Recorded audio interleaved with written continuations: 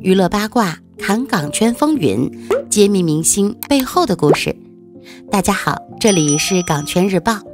娱乐圈就是一个名利场，有人为名，有人为色，最贪心的大概就是甄子丹这种既要名又要利的男演员。提起甄子丹，相信很多人第一时间会想到他的代表作《叶问》。这部电影让他红遍了大江南北。算是继成龙和李连杰之后大红大紫的武打演员了。而作为当红武打明星，甄子丹的情史比电影更加精彩。他有过两段婚姻，在前一段婚姻中，甄子丹将渣男作风发挥得淋漓尽致。二零一四年，甄子丹在一档访谈节目上提到了自己的大儿子甄文超。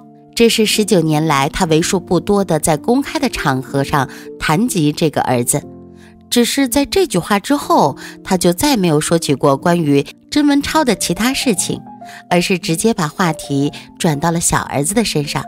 他不仅慈爱地看着荧幕上的小儿子照片，语气中也带上了些许骄傲。一如既往的，在谈到儿女时，甄文超很少有机会能成为父亲展示的主角。或许从他还没出生，父亲就决然离开的时候，便注定了他以后在父亲的世界里没有太强的存在感。一九九三年，甄子丹凭借电影《黄飞鸿二之男儿当自强》的反派角色纳兰元树，提名了金像奖最佳男配角，演艺事业往前跨了一大步。事业节节高升的同时，他的桃花运也悄然降临了。一次偶然机会，甄子丹与从事广告业的梁静慈相识。梁静慈青春靓丽，性感高挑；甄子丹一身功夫，事业蒸蒸日上。两人一见钟情，很快就陷入热恋。这年十一月，电影《英雄豪杰之苏乞儿》首映，甄子丹作为主演出席活动，带梁静慈大秀恩爱，笑言：“如果苏乞儿票房赚够四亿老婆本，就考虑结婚。”在当时，一部电影票房想要破亿，无疑是一餐吃成大胖子，谈何容易啊！所有人便把这句话当作是他哄女朋友开心的戏言，也以为梁静慈想要升级为甄太太，还要等上一些时日。但出人意料的是，一个月后，两人携手到美国旅游的时候，就顺便在当地注册结婚了。速度如此之快，不禁让人猜测他们的感情到底有多深厚，才会这么迫不及待地接下婚姻誓约。就在所有人还为此津津乐道的时候，令人大跌眼镜的事情发生了。一九九四年十一月，甄子丹正式宣布了和梁静慈离婚的消息。谁也没想到，这段快速缔结的婚姻仅仅维持不到一年的时间。那时，梁静慈身怀有孕，她以为能够用肚子里的孩子挽留甄子丹，殊不知他的去意已决，并匆匆搬离了两人曾经的爱巢。郑文超正是在这种情况下出生的，在母亲肚子里，他没能挽留住父亲；出生后的他，依旧没能吸引住父亲的目光。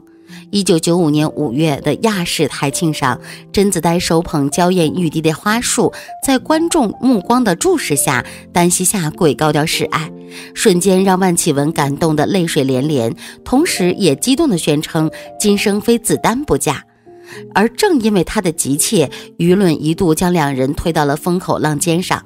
离婚不到半年，便公开了新的恋情。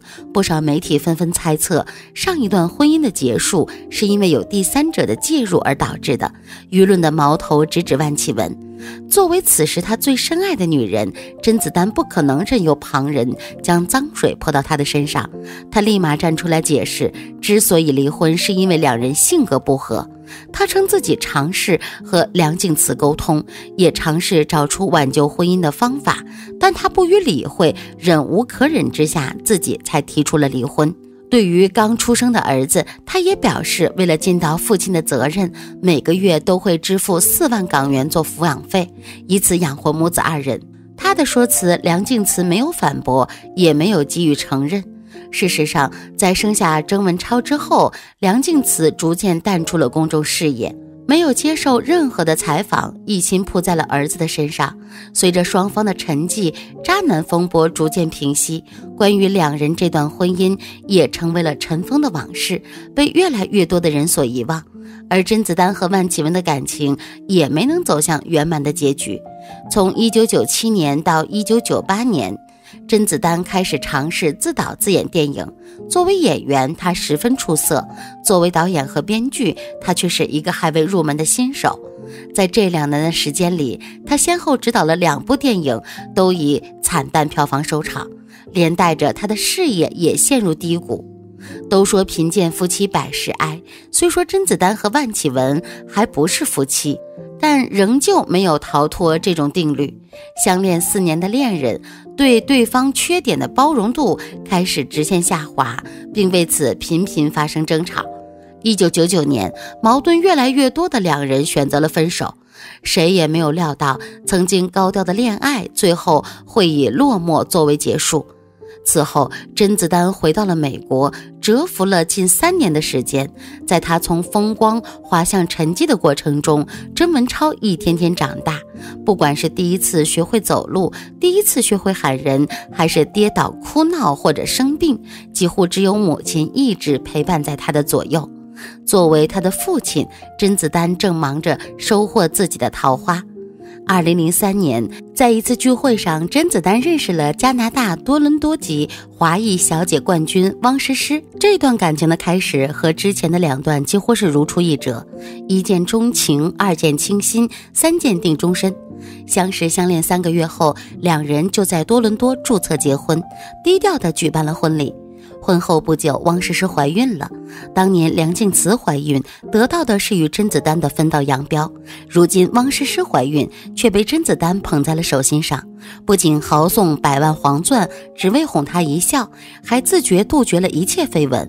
那时曾有人说，在娱乐圈像他这样的好男人已经为数不多了。二零零四年，汪诗诗为他生下女儿甄继儒；二零零七年，汪诗诗又为他生下儿子甄继佳。在凑成一个好字后，甄子丹的事业也再次迎来了爆发时期。二零零八年，他拿到了一生中最为重要的一个角色叶问。叶问一角不仅让他跻身一线武打明星的行列，也让他在观众眼里成为了爱妻、宠妻、怕妻的形象。此后，在各种访谈和电影宣传中，他开始越来越多地展现家庭的和乐，对玉双儿女更是疼爱有加。在父亲不断谈及同父异母的弟弟妹妹时，大儿子甄文超在无人在意的地方已经相继完成了小学和初级中学的学业。原以为接下来的日子会像往常一样平静，不成想命运给他开了一个玩笑。这个夹杂着痛苦的玩笑，却给他带来了一段存在感最强的日子。二零一三年，十八岁的曾文超突发气胸，紧急入院治疗，需要二十万的手术费。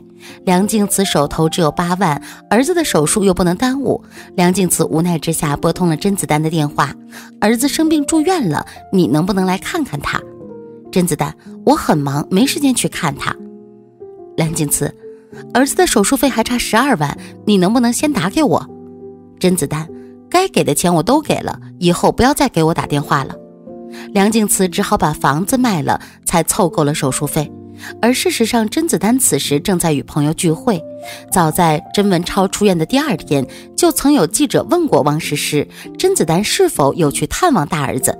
一开始，汪诗诗都以不方便讲他们的事情为由，将这个问题搪塞了过去。后来，他称甄文超在住院的那个晚上，甄子丹已经打电话咨询过医生，得知情况不严重，加之正在拍戏，这才没有去医院探望。同时，他也强调甄文超和他们相处的不错，此前很少提及，是因为他并不是娱乐圈中的人。可当记者将他的说辞告诉梁静慈，并问他两家人是否常见面，他却不屑地回了一句：“没有见过他。”说罢，他匆匆离开了。只是他这语音不详的回答，让记者更加好奇。几日后，他在外出时，再次被记者堵在了路上，并被追问对于外界评论甄子丹是绝种好男人的看法。他有些不耐烦，冷笑地说道：“我不想谈论他。”随后，他便坐上了拦下的出租车，径直离开了。在这之后，他再也没有接受任何的采访。早前甄子丹因为亲自抱儿子甄继佳，匆匆赶往医院就医而被称赞为慈父。如今大儿子甄文超一事，加之梁静慈的回答，让他的慈父形象一落千丈。对此，他也是多次否认、漠视甄文超的传闻。好在随着时间的流逝，舆论逐渐平息，并未对他造成影响。甄文超的日子也恢复了往常的宁静，但存在感也随之回到了从前。二零一九年，郑文超顺利地完成了香港大学的学业。毕业典礼上，站在他身边的依然只有他的母亲梁静慈一人。父亲缺席的原因仍然是在外地工作，没有办法赶回来参加。